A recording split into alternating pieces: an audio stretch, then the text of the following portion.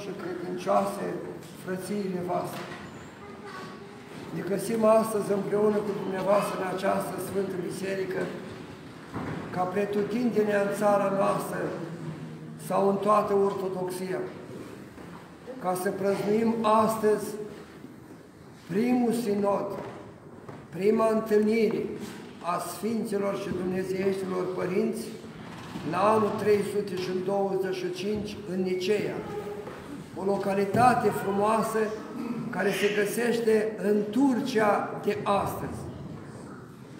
S-a așezat această duminică, pentru că cu câteva zile mai înainte, Biserica noastră a sărbătorit înălțarea Domnului nostru Iisus Hristos la cer.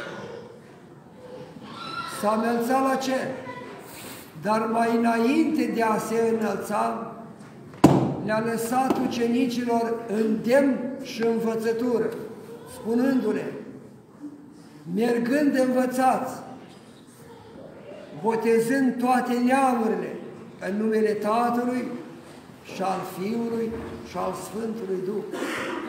Cei care vor crede se vor boteza, iar cei care nu vor crede se vor osândi.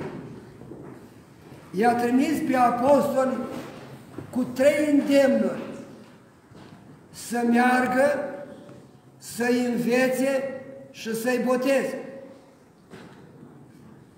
După pogorârea Sfântului Duh, ucenicii au mers în întreaga lume. Au propovăduit și au botezat. Dar iată că asupra credinței s-a abătut mari primești. Împărații din vremea aceea care erau închinători la idoli nu puteau să înțeleagă credința cea nouă în unul și adevăratul Dumnezeu. De aceea, pe toți acei care credeau îi chinuiau. A fost perioade grele, până la anul 325, mai bine zis până la anul 313, când Sfântul Împărat Constantin cel Mare biruie pe Maxențiu, l-a biruit fiind ocrotit de Sfânta și Dumnezeiasca cruce care s-a arătat pe cer și scria într-o acest semn vei birui. De aceea crucea este armă împotriva diavolului. Crucea este prieten noastră pentru că o purtăm la pept. Crucea este strajă la mormintele noastre.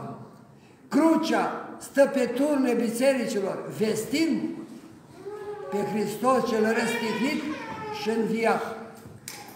De aceea, neînțelegând cu adevărat învățăturile cele sfinte, au fost și oameni care, înțelegând greșit, au început să propovăduiască altceva decât a propovăduit apostolii prin cuvintele primite direct de la Mântuitorul nostru Hristos. De aceea, la anul 325 în Nicea, în această localitate frumoasă care am vizitat-o și eu din Turcia, s-au adunat cei 318 părinți, au participat și din Dobrogea noastră de astăzi, pentru că era creștin. Sfântul Andrei a propovăduit Evanghelia în ținuturile noastre și au lăsat credință adevărată și bine închegată. De aceea la 318 și de la noi au participat acolo. Așa cum am ascultat la strană, au participat mari părinți ai timpului, Sfântul Silvestru, Sfântul Atanasie, Sfântul Arhidiacon Nicolae, care era diacon atunci, Sfântul Spiridon și alți mari sfinți părinți care, prin însuflarea lui Dumnezeu ei, la acest mare sinod au dat 20 de canoare, 20 de hotărâri. Și atunci s-a închegat și s-a alcătuit primele șapte articole din crezul nostru pe care noi îl mărturisim, urmând ca la întâlnirea din 381 la Constantinopol să se alcătuiască celelalte cinci articole, așadar crezul nostru sau mărturisirea de credință pe care noi o spunem, este alcătuită la aceste două sinoade, cel din tâi și cel de-al doilea. La cel din tâi noi îl sărbătorim astăzi. De ce? Pentru că de aici a plecat credința cea adevărată. Sfântul Împărat Constantin a fost cel care a dat libertate creștinismului. De aici s-au rezidit bisericile. De aici s-au botezat toți cei care nu erau botezați. De aici s-a început să se mărturisească credința cea una adevărată în Domnul nostru Isus Hristos. Iată că la acest sinod s-au dat mai multe reguli. O regulă a fost aceea că episcopul de Alexandrie, din Egiptul de astăzi, un oraș foarte frumos al Egiptului vechi, unde s-a găsit cea mai mare bibliotecă din lume și la timpul cealaltă avea aproape 6.000 de volume. I-a spus lui ca să vestească data Paștelui și încă sărbătorile care sunt legate de Paște. El a fost acela care a stabilit lucrul acesta și a spus cum, după regula, cum se stabilește data căderii Paștelui. De față a fost Sfântul Spiridon, a cărui papuc îl avem și noi în Sfânta Biserică. Sfântul Spiridon se trecea din Grecia de astăzi, din o insulă numit Corfu.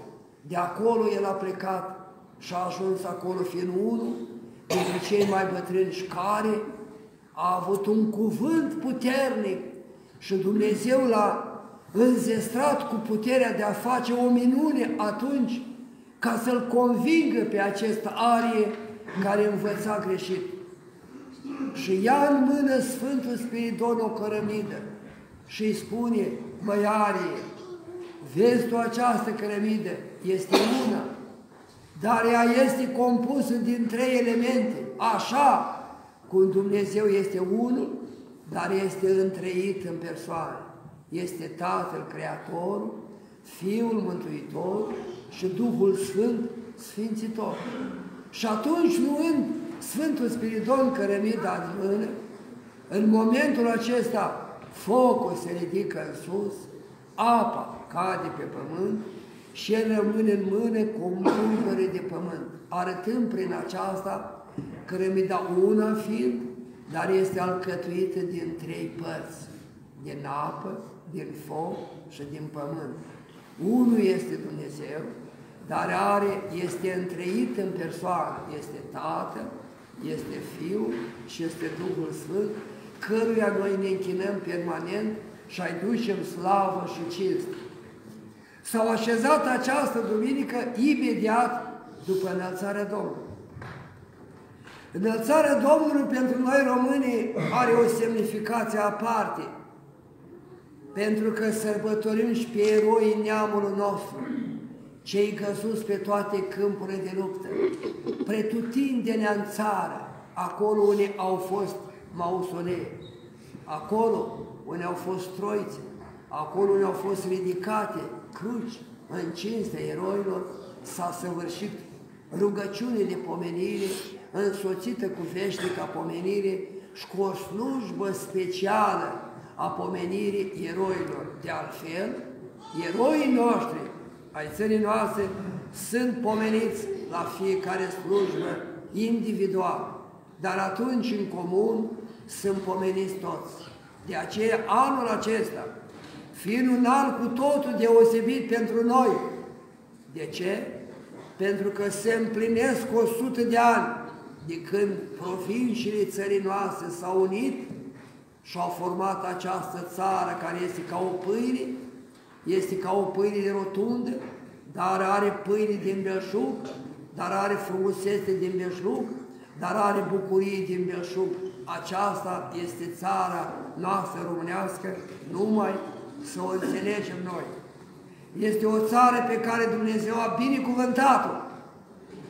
A binecuvântat-o de la început, pentru că a fost încreștinată de primul dintre apostoli Andrei. A binecuvântat-o pentru că acei de la început au crezut cu toată ființa și cu toată credința lor. Și-au dat viața pentru credință. Eroii și-au dat viața pentru apărarea integrității țării, iar Sfântul să dea viața pentru păstrarea credinței într Iisus Hristos. De aceea, sărbătoarea de astăzi închinată celor 318 Sfinți Părinți și Biserica noastră a așezat la loc de cinste. De ce?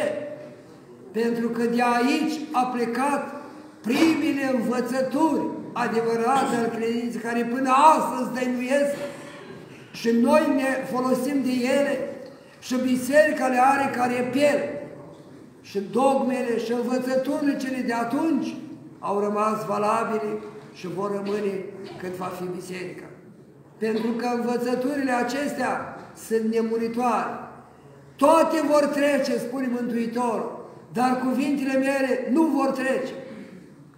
Pentru că cine îl mărturisește pe Hristos înaintea oamenilor și Fiul lui Dumnezeu și îngerii săi îl mărturisește înaintea lui Dumnezeu. Iată, fraților, ce recompensă mare ne dă nou Dumnezeu. Noi îl mărturisim mai scurt, câțiva ani, cât ne dă Dumnezeu nou, dar de dincolo, îngerul dat nou de la Sfântul Botez, mărturisește înaintea lui Dumnezeu fără sfârșit despre noi, despre puțina mărturisire care am făcut-o aici și din încolo este mărturisire veșnică. De aceea, de la înălțarea Domnului până la pogorâre, cuvintele noastre trebuie să fie Hristos s-a înălțat și răspundem cu adevărat s-a înălțat. Așa cum spunem, la înviere, Hristos s-a înviat, și răspundem adevărat s-a înviat așa și acum, până la pogorâre. Pentru că sărbătoarea aceasta a înălțării are un timp de cinstire și ea se cinstește până în ajunul pogorârii Duhului Sfânt. Zi în care, sâmbătă următoare, este una din cele două mari sâmbete ale anului în care biserica noastră pomenește pe moșii și strămoșii noștri. Îi pomenește înainte de postul mare, înainte de duminica înficoșătoare judecăți, ca cei care au, adormit, au adormit într Domnul să nu intre la judecata cea aspră a lui Dumnezeu. Și sunt pomeniți și în sâmbăta care urmează, pentru că Duhul Sfânt care umprește toate să umbrească și pe cei pe care noi îi pomenim și ei să fie izbăviți de locul în care se găsesc dacă sunt la întuneric sau dacă sunt la lumină, să salte mai sus. De altfel, în Duminica Pogorârii Duhului Sfânt, când după slujbă avem o unică slujbă a anului, numită Vecernia Pogorârii Duhului Sfânt.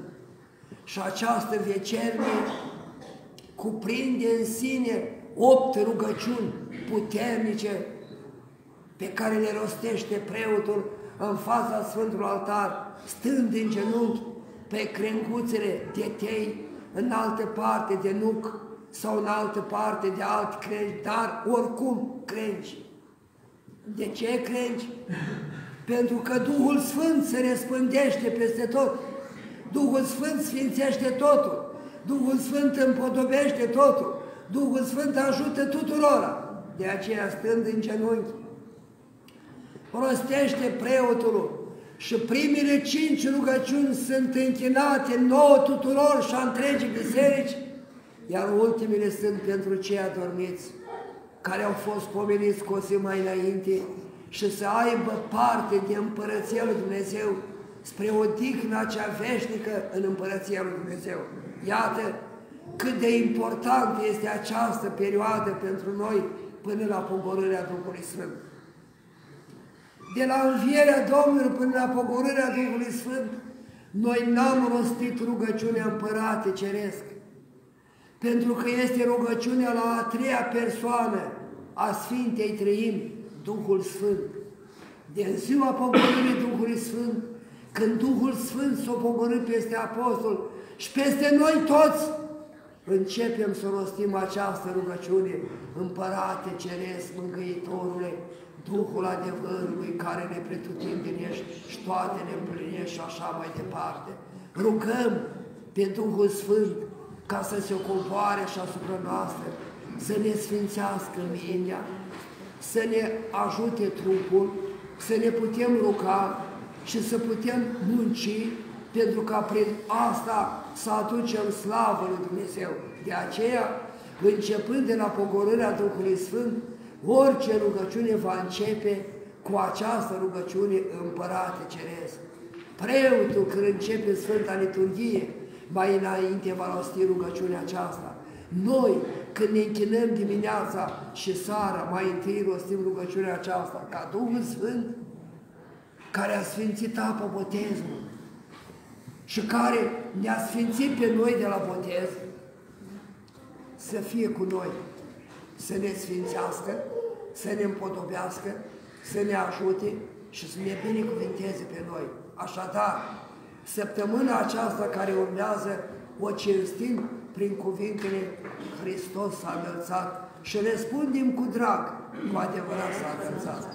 S-a suit Domnul în muntele acesta numit a Eleonului și este un loc foarte frumos acolo. I-a învățat, le-a spus cuvinte de învățătură și apoi s-a înălțat la cer. Și această înălțare a adus după sine două lucruri. Pentru noi bucurie, iar pentru îngeri mirare. S-au mirat îngerii că Hristos, omul, s-a ridicat la cer.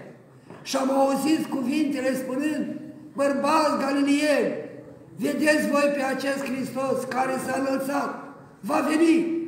Ce să facă? Să judece vii și morții, așa cum spune la crez, a cărui împărăție nu va avea sfârșit.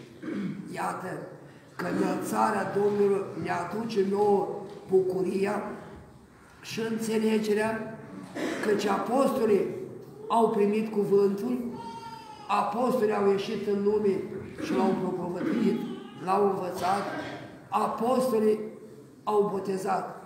Și de la dânsii și până astăzi, prin hirotonie toți preoții, prin această succesiune, botează în numele Sfintei Trim, prin întreita afundare apă a Tatălui, a Fiului și a Sfântului Duh.